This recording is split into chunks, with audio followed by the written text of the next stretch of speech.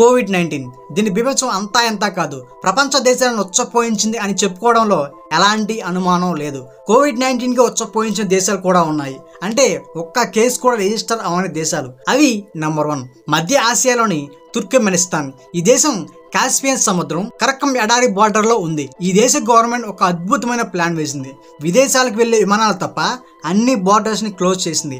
తమ దేశానికి తిరిగి వచ్చేవారు కన్ఫర్మ్గా నెగిటివ్ సర్టిఫికేట్ రెండు రోజుల వ్యాక్సినేషన్ ఉంటేనే రావడానికి పర్మిషన్ ఉంది. అలాగే పద్దెనిమిది సంవత్సరాలు నిండిన ప్రతి వ్యక్తి రెండు రోజుల వ్యాక్సిన్ తీసుకోవాలని ఆదేశించింది. అందుకనే ఒక్క కేసు కూడా ఫైల్ అవ్వలేదు. రెండవది కుక్ ఐలాండ్స్ ఈ ఐలాండ్లో కూడా ఒక్క కేసు కూడా ఫైల్ అవ్వలేదు. ఇది పసిఫిక్ మహాసముద్రంలో ఉంది. ఇక్కడ జనాభా పదిహేడు వేల మంది. ఈ దేశంలో వారికి నైన్టీ సెవెన్ పర్సెంట్ మందికి రెండు డేస్ల వ్యాక్సినేషన్ పూర్తయింది. కరోనా వచ్చింది అనే న్యూస్ తెలియగానే ఇతర దేశాల నుంచి రాకపోకలు నిషేధించింది. మూడవది ఉత్తర కొరియా. ఈ దేశంలో ఒక్క కేసు కూడా ఫైల్ అవ్వలేదని ఆ దేశ అధినేత కిమ్ జోంగ్ గున్ స్వయంగా అనౌన్స్మెంట్ చేశాడు. డబ్ల్యూహెచ్ఓ కూడా కన్ఫర్మ్ చేసింది. ఉత్తర కొరియా ఇతర దేశాల నుంచి ఉత్పత్తులను దిగుమతులు ఆపేసింది. అలాగే ఉత్తర కొరియా వ్యాక్సిన్ కూడా దిగుమతి చేసుకోలేదు. నాలుగవది టెక్లావ్.